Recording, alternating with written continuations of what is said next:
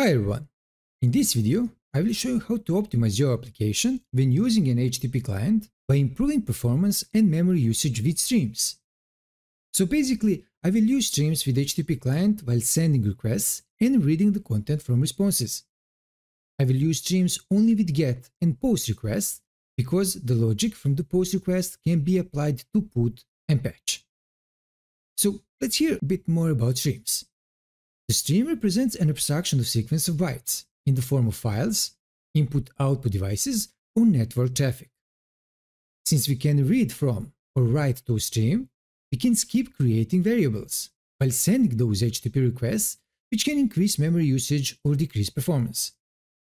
Now, the important thing to know here is that working with streams on the client side has nothing to do with the API level. This is a separate process. Our API may or may not work with streams, but this doesn't affect the client side at all. So this is a clear advantage since we can use streams in the client apps to increase performance, decrease memory usage, and still consume any API. Okay, so let's check the prepare project. Here, I already configured an HTTP client factory. And for this very case, I'm using a name factory. Of course, I will not talk about using HTTP Client Factory here because I already have a detailed video on this topic. If you want to learn more about how to improve your HTTP requests and how to use HTTP Client Factory with both named and typed clients, I strongly suggest watching that video. I will share the link in the description below. Also, you can see that I have registered a single HTTP Client Factory service. So let's open that class. I already injected an iHTTP client factory interface to use the HTTP client factory and also prepared some JSON configuration options. Okay, with all this prepared, let's see how we can use streams here. Just before I do that, I will quickly remind you about our Ultimate ASP.NET Core Web API book that you can find linked in the description below. Feel free to check out the book if you want to master all the best practices to create powerful production-ready web APIs. And also, check out our Blazor course to create client C-sharp apps without using JavaScript. Again, the links are in the description below.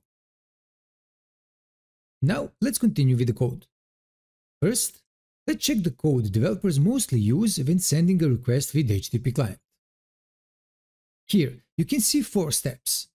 Sending a request to the API's URI, waiting for the response to arrive, reading the content from the response body with the read as string async method, and deserializing the content using system text JSON. Now, there's nothing wrong with this code. It looks great. But with streams, we can remove that action in the middle, where we use the read as string async method to read the string content from the response body. So, let's see how to do that. Let's remove this method first. Instead, I will create a new method to send a GET request using streams. It will be a private async method that returns task. And let's name it get companies with stream. Next, I need an HTTP client variable. And to create that client, I will use the HTTP client factory field and call the create client method by providing the client's name the one I registered in the program class. Now, since I will work with the stream here, I need a using directive, and inside I need a response variable, and then I will await the call to the get async method. I also need the route to the web API's action. Then I want to ensure the successful status code is returned from my API. After I get that, I will create a stream and await the call the response.content.readStream async method. I use the readStream async method to serialize the HTTP content and return it as a stream.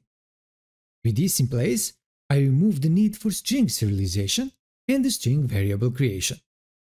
Now, as soon as I have my stream, I will extract the result inside the company's variable by calling the JSON serializer dot deserialize async method to read from a stream and deserialize the result into the list of company objects.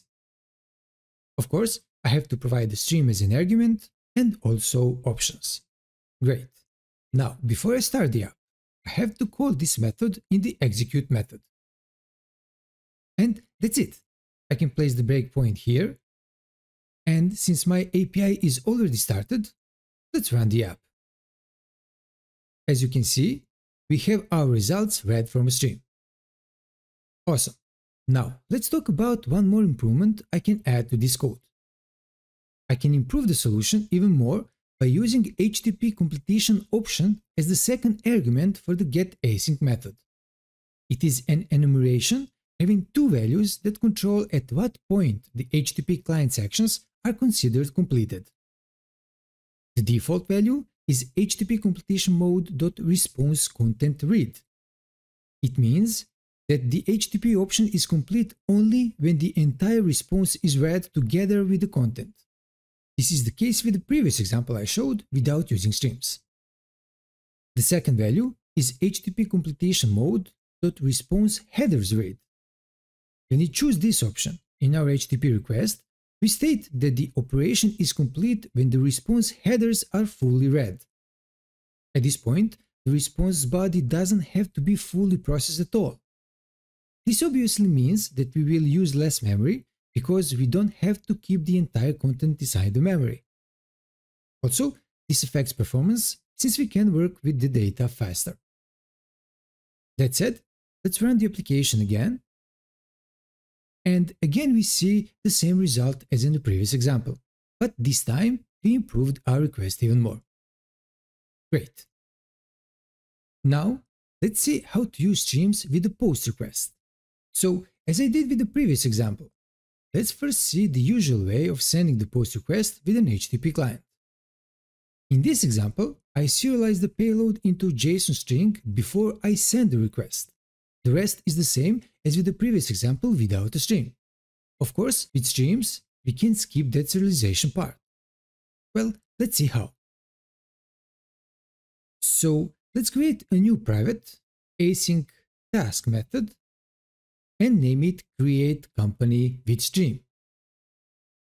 In this method, I will again create a new HTTP client using the HTTP client factory and also create a new company for creation object with all the required properties. Then I need a memory stream object. Now, let's await the JSON serializer.serialize async method to serialize our company for creation object into the created memory stream. Also, I need the seek method to set a position at the beginning of the stream.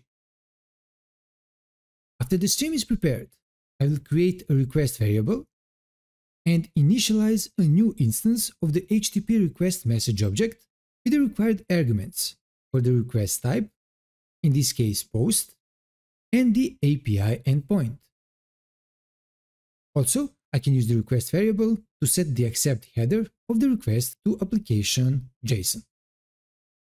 After that, inside the using directive, let's create a new stream content object named request content using the previously created memory stream.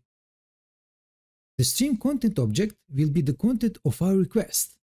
So let's use the content property and assign it the value of the request stream variable. Also, I need to populate the content type header of the request. And for that, I will use the media type header value constructor and pass the application JSON as an argument.